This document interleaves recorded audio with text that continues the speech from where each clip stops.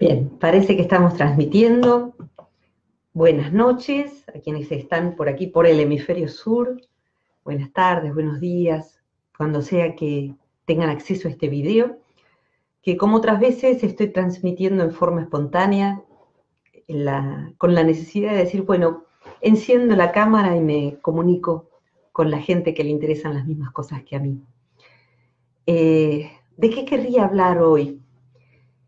Luego de varios hechos sincrónicos que, estuve observando en estos días y considerando también algunos sueños que me han contado, sentí necesidad de contarles a, quienes tengan interés que hay distintas maneras de concebir qué es el inconsciente.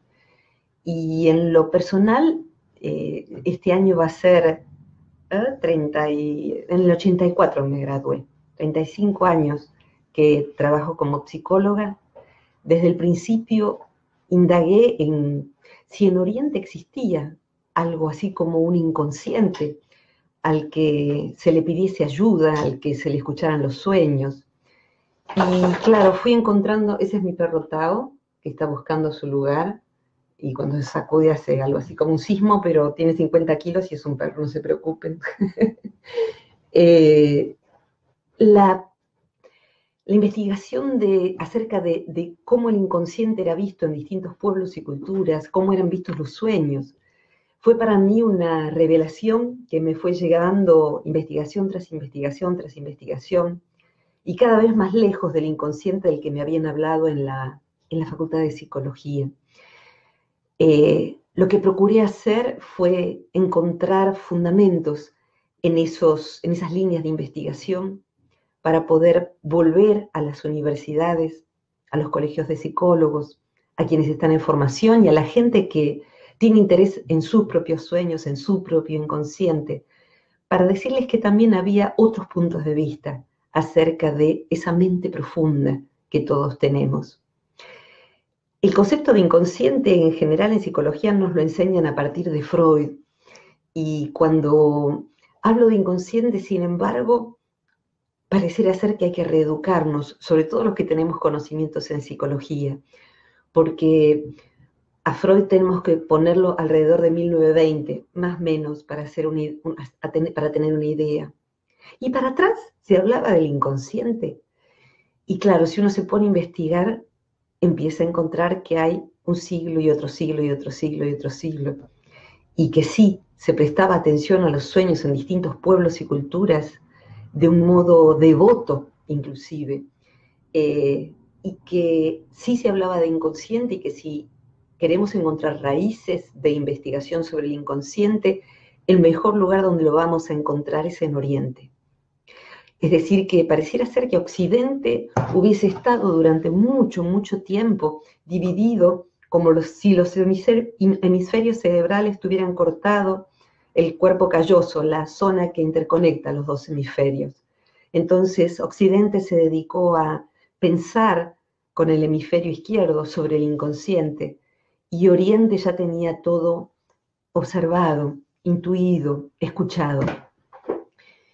El inconsciente de Oriente hoy en día, eh, no soy nada original al plantearlo, eh, está siendo estudiado y está siendo enseñado enseñado dónde, en las universidades de distintos lugares del mundo, pero también en las escuelas. Hoy en día se está enseñando prácticas de plena atención, de meditación, desde el jardín, desde el kinder, el jardín de los más pequeños, hasta toda la escuela de los menores y la high school, la escuela secundaria, tanto a maestros como a padres como a niños. Y en Argentina, hoy, 2019, hoy es 30 de junio de 2019, empieza a suceder una revolución en la consideración de qué son las emociones, cuya raíz está en el inconsciente, pero el inconsciente ¿qué es? Es esa caja de Pandora donde están los complejos, los traumas, los conflictos, las contradicciones y los bajos instintos. No, no, eso es una capa del inconsciente. Eh, Occidente miró y vio, y miró sobre todo a través del estudio de lo patológico, o sea que con todo el mérito que le corresponde a Freud y a todos los que le siguieron y le antecedieron en Occidente, lo que se estudió fue el inconsciente de personas que estaban seriamente perturbadas. Entonces, a partir de la patología, se trajeron deducciones para poder eh, comprender cómo era que fuese posible eh, un sueño, un síntoma eh, y todo aquello que se manifestara de modo no racional. Oriente ya se había dedicado a eso entre 2500 a 5000 años antes de Freud. Si miramos la historia de los sueños, por ejemplo, vamos a encontrar desde lugares públicos donde se soñaba en Grecia para obtener no solo intuiciones y orientación acerca de la propia vida, sino también acerca de la propia salud. Se entendía que uno podía ir a, los, al templo de Esculapio, que eran varios en realidad en Grecia, a dormir al templo sabiendo que al despertar podría haber una orientación sobre cambios en la dieta, una hierba para tomar, o algo que dejar de ingerir, o algo que nos pudiese traer salud. E inclusive había testimonios de personas que a través de un sueño se habían curado de una enfermedad. En Roma, por ejemplo, no estoy contando esto por erudición, sino como si estuviéramos tomando un tecito, si estuvieran aquí en mi casa tomando un tecito. En Roma había un lugar en donde uno podía ir a declarar un sueño que considerara de interés público. O sea que estaba el concepto de que si yo soñaba, podría tener un sueño que no fuera solo para mí. Es decir, que ya ahí se estaba perfilando la noción de que había un inconsciente colectivo que podía expresarse a través de lo que a un individuo le pasaba al soñar. Y que si eso se registraba y se atendía, podía haber un beneficio para toda, para todo el colectivo. ¿Era absurdo? No, para nada. De hecho, no solo hoy en día hay espacios en donde uno pueda escribir sus sueños y los considerara colectivos en Internet. Hace un par de años nada más, una querida abogada de Colombia que trabaja a favor de los pueblos originarios de su país ganó un litigio y el litigio se instauró de esta manera. Eh, la etnia para la que ella trabaja defendiendo se rige mm, por los sueños de cierto grupo de mujeres. Esas soñantes sueñan indicaciones para su pueblo. Si está por nacer un niño, qué características hay que cultivar en ese niño, eh, qué nombre ponerle, dónde puede haber más alimento, dónde, de, dónde, dónde protegerse de una tormenta. Y así, a través de esas mujeres, el inconsciente del colectivo eh, expresaba su voluntad en sueños, pero en sueños de esas personas en particular. Sucede que el Estado hizo pasar un ferrocarril por la tierra sagrada de esta etnia. Y lo que hizo esta abogada querida fue defender a esa etnia porque, porque las mujeres no podían dormir, por ende no podían soñar, por ende no podían orientar a su pueblo. Y eso no es una cuestión de superstición, es algo profundamente funcional. Es más, me pregunto si los países en donde vivimos muchos de nosotros estuviesen gobernados por los que el inconsciente profundo dijera, si no funcionaríamos mejor. No digo como única voz, pero sino como una de las voces. Porque el inconsciente en lo profundo tiene una ética colectiva. Si la humanidad va a poder progresar, va a ser también porque cada uno de nosotros escuche la voz de su conciencia. Y la voz, de, curiosamente, de nuestra conciencia en realidad es la voz del inconsciente. Podríamos decir que el inconsciente es la conciencia con mayúscula. Es una conciencia con mayúscula que nos abarca a todos, que nos recuerda que todos somos parte de lo mismo. Por ende, los sueños que tenemos tienen una importancia muy personal y una importancia colectiva. Y bueno, veo que se van sumando al fogoncito que tenemos aquí encendidos. Si quieren pueden ir contando desde dónde se están comunicando, sea que lo hagan ahora o lo hagan después. No puedo leer las preguntas y los comentarios, pero sí luego lo puedo hacer. Eh, inclusive el video quedará subido. Cuando empezamos a mirar hacia Oriente, encontramos lo mismo que decía el querido Carl Jung. Eh, el viejo Jung, el viejo como uno en Argentina puede decirle mi viejo a su padre, ¿no?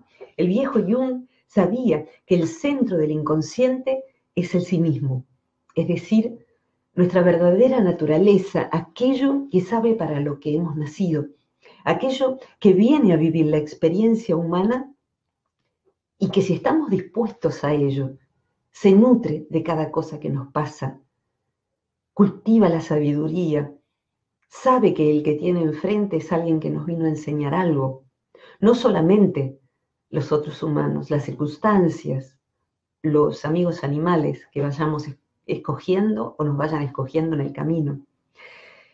El inconsciente, viviendo la experiencia humana, nos está hablando de una oportunidad de utilizar algo que tardó siglos y siglos en fabricarse, en diseñarse, y que por ahora no es totalmente conocido, que es el cerebro humano.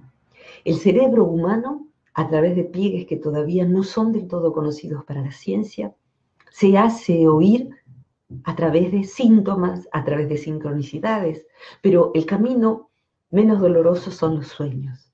Aprender a escuchar los propios sueños. Tengo que terminar la historia anterior. Eh, se consiguió que el tren dejara de pasar por allí para que estas mujeres pudieran seguir orientando al pueblo a través de los sueños. Y verdaderamente me parece un logro maravilloso que corresponde a hace dos o tres años, o sea, no estoy hablando de un pasado remoto. La posibilidad de escuchar a nuestro inconsciente es tan importante como de ejercer ejercida como quien toma un GPS para orientarse en tierras que no conoce. Eh, y sin embargo, esta es más fiel que un GPS. Es más fiel que un GPS.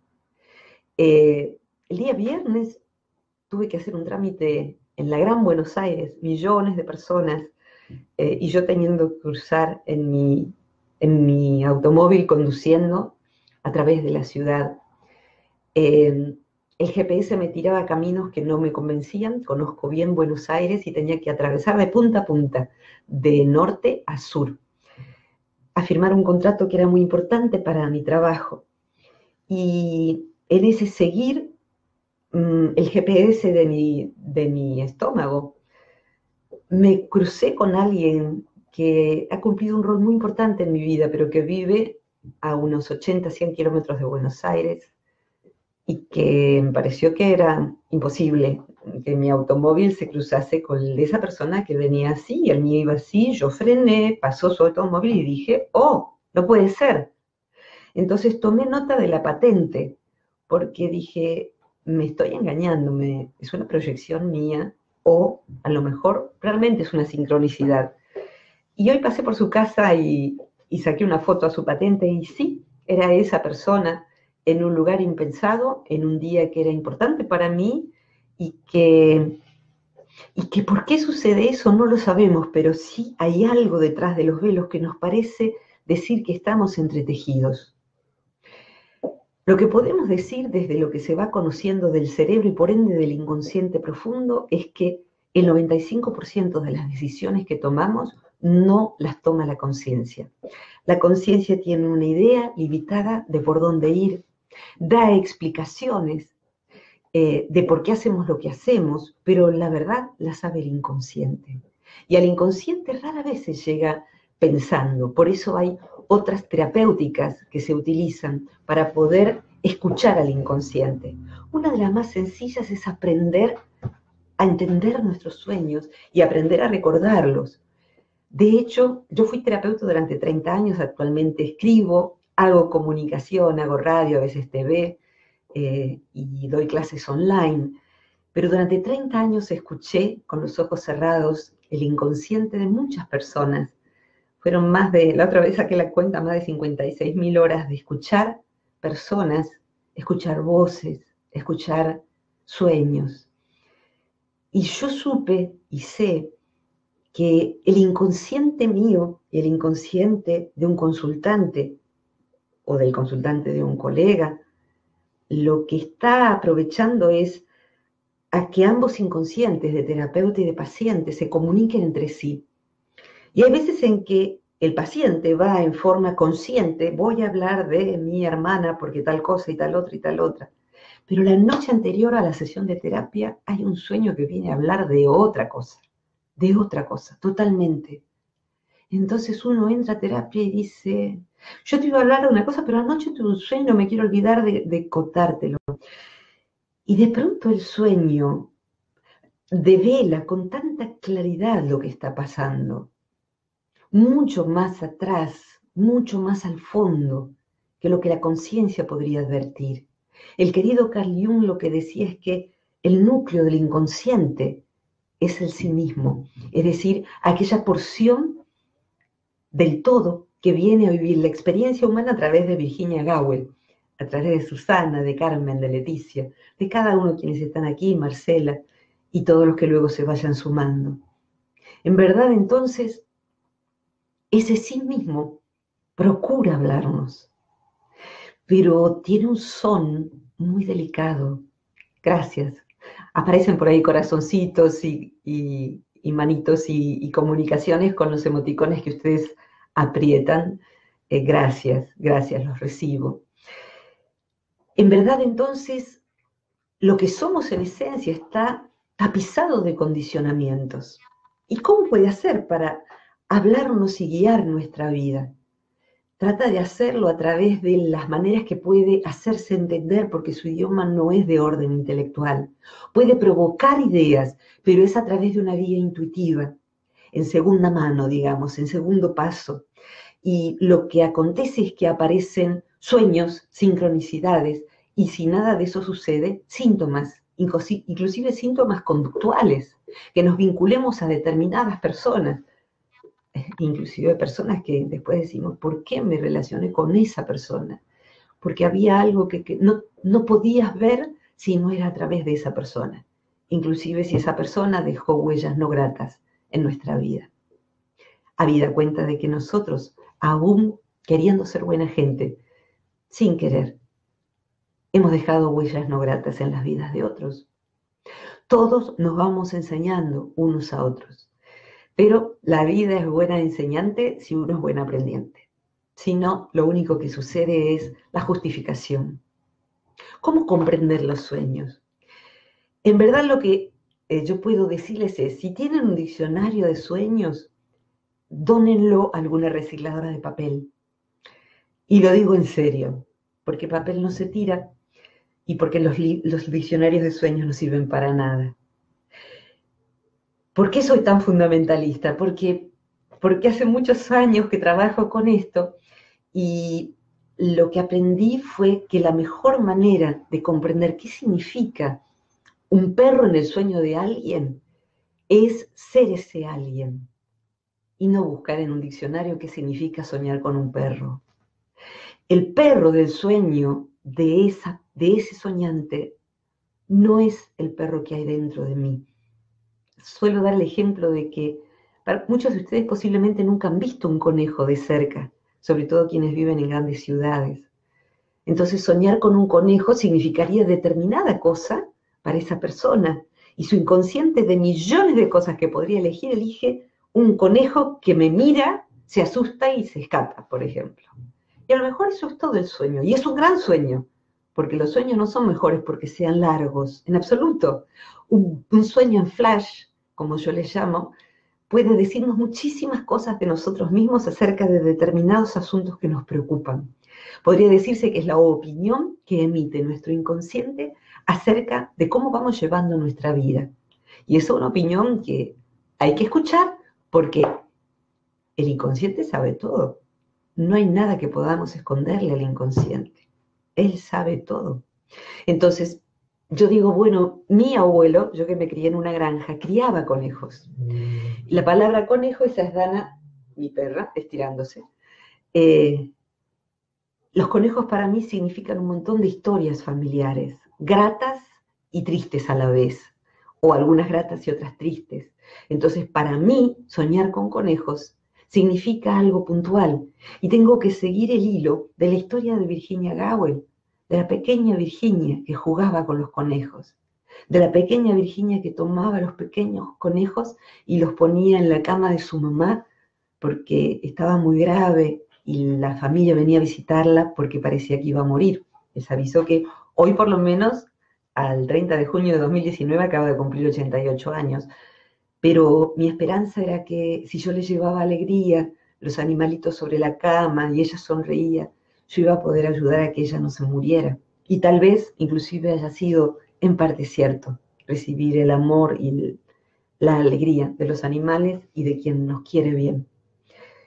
En fin, soñar con un conejo entonces claramente no es lo mismo para mí que para otra persona. Y claramente no es lo mismo nada que diga ninguna persona ni que haya escrito un diccionario de símbolos. Hace muchos años tuve la oportunidad de tomar un seminario con Michael Harner. Michael Harner eh, fue un antropólogo transpersonal muy valioso, muy reconocido. Y él trabajaba con ejercicios de imaginería tomado de distintos pueblos originarios. Ahí está Dana, no te ibas a perder de salir del video, ¿eh?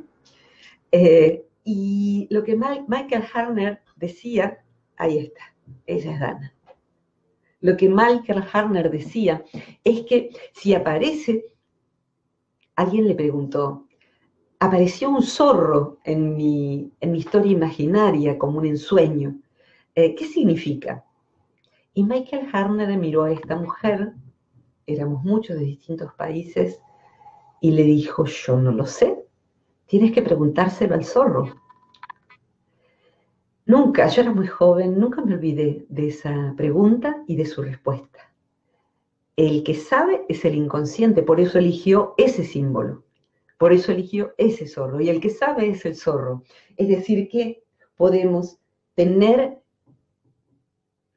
una evocación de los sueños a través de resoñar el sueño. Resoñarlo en un estado de relajación, desacelerando nuestro cerebro. Esto es parte de lo que yo suelo enseñar en los posgrados que doy en el centro y, en otros cursos que son para toda persona que está trabajando sobre sí son distintas instancias de aprendizaje, pero trabajar con un sueño, terapeuta y paciente ambos con los ojos cerrados, el terapeuta tratando de soñar el sueño de su paciente, de su consultante, el consultante resoñando el sueño, porque no es lo mismo hablar del zorro del sueño que desde el zorro del sueño, ¿sí? Eh, de un objeto, de un paisaje, todo significa algo, y muy singularmente los personajes que aparecen en un sueño. Los personajes que aparecen en un sueño pueden significar muchísimas cosas, y no solamente partes de mí. No es que si aparece determinada mujer en el sueño es mi sombra, es posible. Sobre todo la sombra, si quieren después buscan en YouTube, hay una charla de dos horas y algo sobre la sombra que di alguna vez y que me han dicho que es didáctica, así que bueno, es raro recomendarse a sí mismo, pero les invito.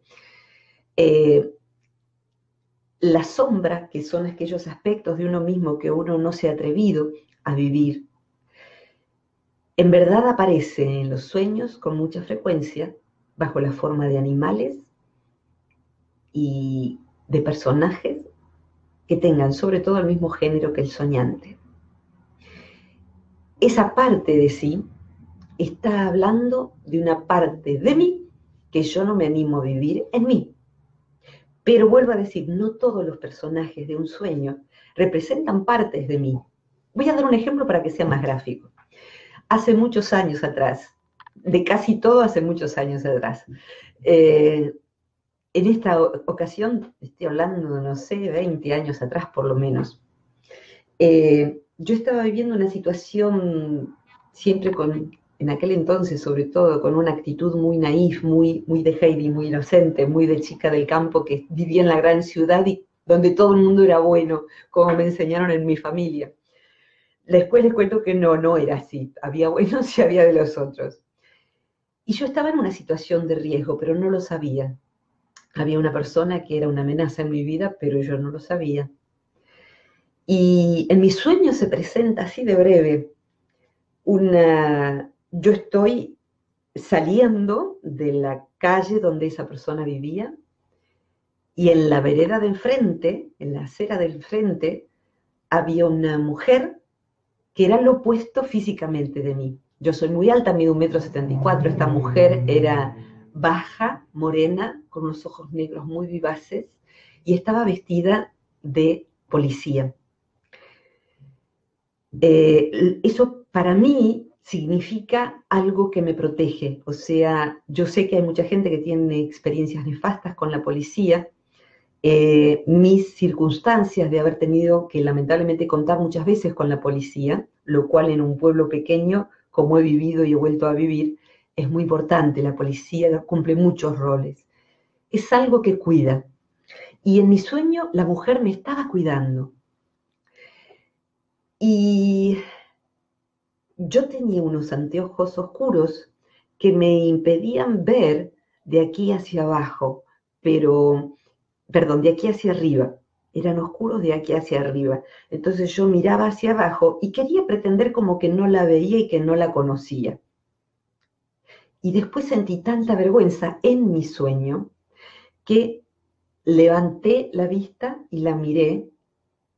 Y cuando la miré vi que esa mujer tenía una, unas muletas y que estando malherida y todo, estaba cuidando de mí. Y sentí mucha, mucha gratitud y la saludé. Y me saludó y me sonreí, me sonrió y le sonreí. Ese sueño sí podría representar una parte de mí, la sombra. Ahora que lo recuento, lo resueño, pienso, yo tuve un accidente en un pie que dejó una discapacidad allí. Tengo un pie, una parte del pie, huesos de metal, en una compleja prótesis interna. Eh, afortunadamente porque tuve cuatro operaciones allí, mucha silla de rueda, mucha muleta. Pero eso sucedió muchos años después. Y me pregunto si aquel inconsciente ya sabía que si yo no me cuidaba en algún momento esto iba a pasar. Y bueno, aprendí a cuidarme mejor, pero ahora me cuido mejor que como me cuidaba. Los personajes de los sueños, volviendo a esa idea, sí pueden entonces representar partes de nosotros, pero también pueden representar otros aspectos. A veces, inclusive, diría uno de las tantas cosas, eh, pueden representar, yo digo, a dobles de riesgo. ¿Vieron en las películas cuando eh, se contrata a un doble de riesgo para que el actor principal no corra ningún riesgo. James Bond cambiando de vagón en una pelea arriba de un tren. Bueno, hay veces en que los sueños eh, tienen por representación a alguien eh, que en verdad sería otra persona en nuestra vida vigil. Supongamos que en el sueño estamos gritándole y golpeando y enojándonos con una mujer que se llama eh, Ana y que tiene el cabello rizado y tiene morocho y, un lunar aquí y, y, a Ana le grito y le grito y no sé quién es exactamente, pero estoy muy enojada, muy enojada. ¿Qué podría representar esa Ana? No es nadie conocido. Y después uno empieza a indagar y a observar y a tratar de comprender qué me quiere decir mi inconsciente. Y tirando del hilo de Ariadna, uno encuentra que esa Ana del sueño podría ser una doble de riesgo de la hermana de la soñante. O sea que, ¿cómo es tu hermana? ¿Cómo se llama tu hermana? Adriana. ¿Y cómo es? Y tiene el cabello rizado, etcétera. Pero no era mi hermana en el sueño. No, no, ya sé que no era tu hermana en el sueño ni se llamaba como tu hermana, pero tu inconsciente hizo un apócope del nombre, hizo Ana en vez de Adriana y te pone a alguien parecido porque es tan doloroso el enojo que tenés con tu hermana que posiblemente sea eso lo que pasó, que eligió a alguien para reemplazarlo porque te es insoportable enojarte con tu hermana. De todas maneras, cuando trabajamos con sueños, lo que hace falta es tener la modestia de estar seguro de que al soñante eso le sirve. ¿Resuena esto con tu experiencia personal? Porque si es que no, es que no. Pero en general es que sí. Y la respuesta es orgánica. Es sí. Esto me ha pasado muchísimas veces. Cada dos años doy un curso de aprendizaje sobre la comprensión de los sueños online. Y allí yo no veo a la persona, no conozco a las personas, hay personas de 15 países diferentes. Y sin embargo, trabajando con las preguntas apropiadas, uno puede encontrar el significado del sueño de, de una persona y ayudar a todos, trabajando con el sueño de esa persona, a que todos vayan viendo cómo aplicar esos mismos principios a sus propios sueños, para poder comprender qué es lo que el inconsciente está queriendo decir. Y es maravilloso ver cómo a través de Internet, siendo que no nos estamos viendo, estamos en el campus virtual, yo sí estoy en vivo hablando, estoy trabajando con el sueño de Carmen. Y previamente a eso, ya le he hecho preguntas a Carmen, ya le he mandado a todos el sueño de Carmen, ya aviso que voy a trabajar con el sueño de Carmen. Y lo que va sucediendo es que se van devanando madejas, se van hilando significados, pero lo que es importante es preguntarle al soñante, ¿te resuena como algo propio? Porque solo así ese sueño va a traer el aprendizaje que tenía para regalarle al soñante. Y en general, por mi propia experiencia, el aprendizaje que el soñante tiene, lo tiene todo el grupo que está participando al respecto, porque empiezan a hacérsele insights, comprensiones respecto de sus propios sueños y porque el inconsciente, que es más inteligente que nuestra conciencia, va a empezar a generar sueños que van a permitirle a esa persona comprender mucho mejor su vida presente, su pasado y los pasos que dar hacia aquello que le importa en su vida futura. Si tenemos un destino, redondeando esta charla, si tenemos un destino en el sentido de que somos como un tren que parte en el parto y que tenemos una dirección hacia dónde ir. Tenemos un para qué vivir nuestra vida. Tenemos un, una tarea, pequeña o grande para hacer. Tal vez no haya pequeñas tareas, porque la sumatoria de pequeñas tareas hacen el gran cambio que este mundo necesita.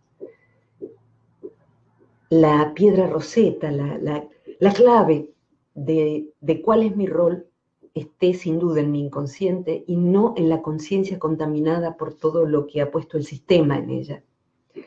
No escuchar al propio inconsciente es como largarse a manejar, a conducir el propio automóvil en un lugar desconocido de noche con lluvia.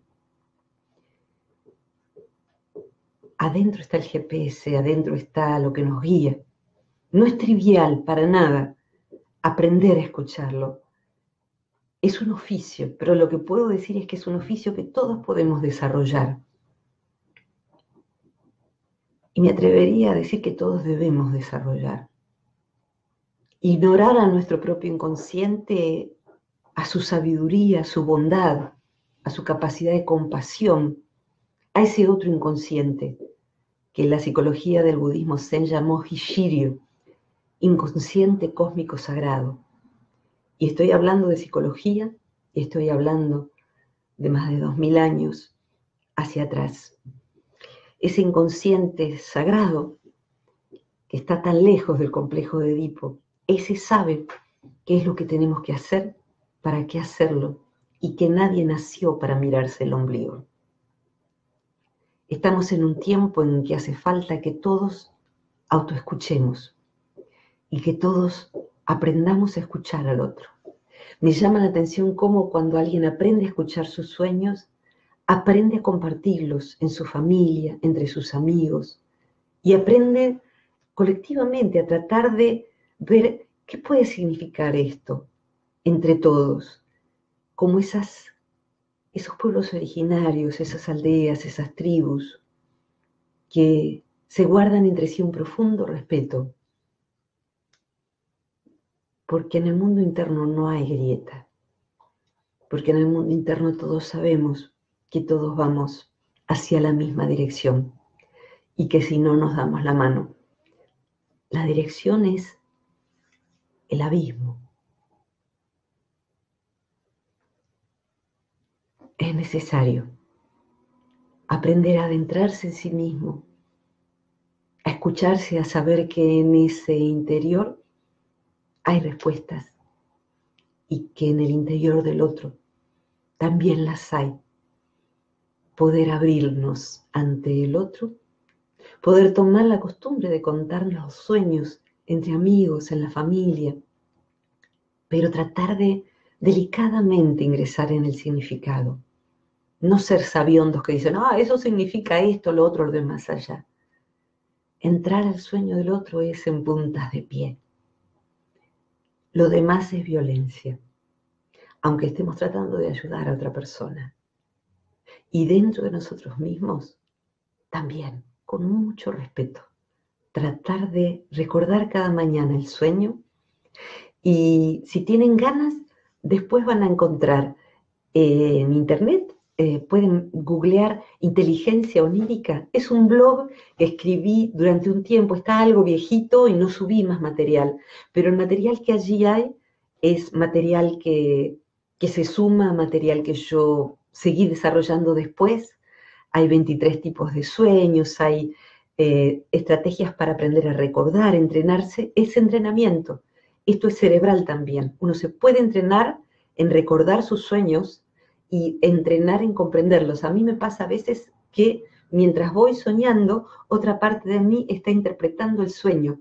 O sea que tengo los dos sistemas, el soñante y el interpretativo, encendidos al mismo tiempo porque bueno, eh, ha sido mi trabajo entre tantos otros, tratar de comprenderme para poder tratar de comprender a los demás. Y celebro que haya una psicología que entienda que la espiritualidad es parte de la psicología, que no tiene que ver con superstición ni con determinadas creencias en particular, sino con un estilo de vida ético, no violento, para con el otro y para consigo mismo. Gracias por estar aquí Allí van a encontrar algo más sobre todos estos temas que hemos ido tratando y, serán bienvenidos a, todo lo que desde el centro se vaya irradiando. Eh, aquí mismo en Facebook van a encontrar muchas otras pequeñas videoconferencias. En YouTube hay muchas también, las vamos subiendo por ese lado. Y en el sitio del Centro Transpersonal de Buenos Aires hay un rinconcito que dice material gratuito. Allí hay textos, hay audios, hay un libro gratuito, hay muchos videos, de modo que todo lo que puedan sacar provecho de, lo que el centro irradia desde hace 25 años está a disposición de todos ustedes. Y para quienes trabajen en universidades, eh, yo suelo dar videoconferencias para universidades. Si están no lejos, voy. Son gratuitas, son con mucho gusto para difundir de qué se trata esta mirada desde hace tantos años tan amada por mí. Y así seguiré haciéndolo mientras tenga fuerza. Así que eh, cualquier cosa me avisan y allí estaré. ¿eh? Lo mismo en los colegios de psicólogos. Es necesario enfocarse en otra mirada del ser humano. El ser humano que busca terapia ya está cansado de que le den las mismas informaciones que verdaderamente son poco eficaces porque nos perdemos de vista a la persona, a la persona. Poder tener un terapeuta que sonríe, que se emociona, que nos abraza, que se alegra porque nos ha ido bien, que nos acompaña en un duelo, que nos manda un mensaje, que nos cuenta cosas de sí, porque sabe que van a ser buenas para ese vínculo terapéutico. Es una bendición. Así que bueno, les dejo mi abrazo. Gracias por estar aquí, gracias por todos estos gestos de afecto. Gracias a quienes se sumen después y quienes tengan ganas, por favor, cuenten desde dónde lo han hecho, porque nos da una idea de que esto global nos va entrelazando desde todas partes. Y, y aquí estamos. Hasta la próxima. Muchas gracias. Gracias por estar siempre. Gracias, Dana, por tu papel y gracias, Tao, por tu silencio. Está allí todo desparramado, el grandote. Que tengan bella vida, que así sea y que nos hagamos los unos a los otros una vida más feliz, más armoniosa, más amigable con el medio ambiente, con el mundo entero y con nuestros desventajados hermanos animales y humanos.